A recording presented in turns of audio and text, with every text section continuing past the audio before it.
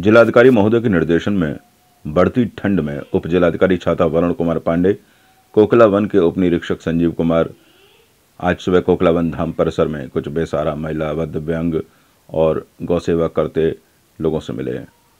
ऐसे प्राणियों को उन्होंने कंबल बांटे जो ठंड में ठिठुर रहे थे। कंबल पाकर महिला और पुरुष खुश नज़र आए।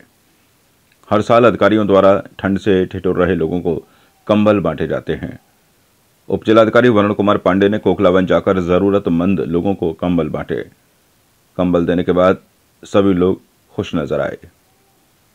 वरुण कुमार पांडे से जब बात की तो उन्होंने बताया कि जिनको ज़रूरत होती है, उनको हम कंबल पहुँचा देते हैं। लेकिन आज खोखलावन धाम में आकर मुझे ऐसा लगा कि वाकई इन लोगों को कंबल की ज़रूरत है और इसी को मद्देनज़र रखते हुए हमने ये कंबल वितरण का कार्यक्रम यहाँ रखा।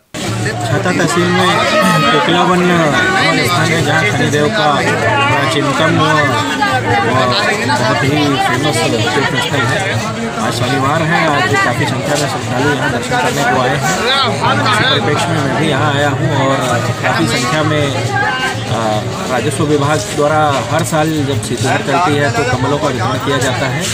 इसीलिए आज यहाँ जो भी दिव्यांग लोग थे, जो भी वृद्ध थे, उनको कम्बल का वितरण किया गया